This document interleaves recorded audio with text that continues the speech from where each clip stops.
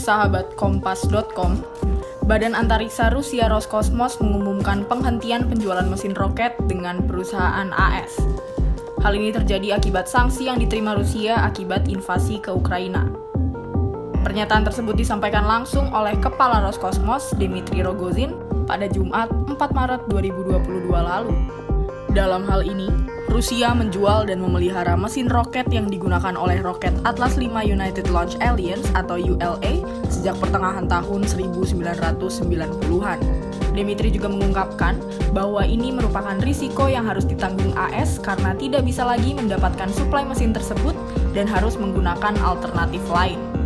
Selain mengakhiri penjualan mesin ke AS, Rusia juga menarik diri dari proyek bersama dengan Jerman dan perjanjian peluncuran dengan Badan Antariksa Eropa. Tak hanya itu, Rusia juga mengancam AS dengan diakhirinya kerjasama stasiun luar angkasa internasional.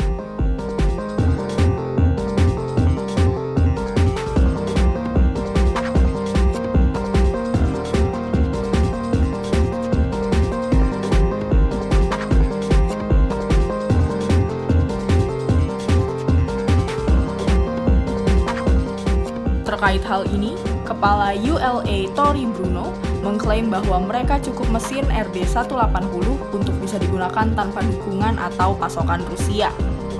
Ia juga mengatakan bahwa hal ini tidak akan berpengaruh pada industri mesin roket ke depannya, meskipun akan ada beberapa masalah jangka pendek untuk beberapa penyedia peluncuran roket AS.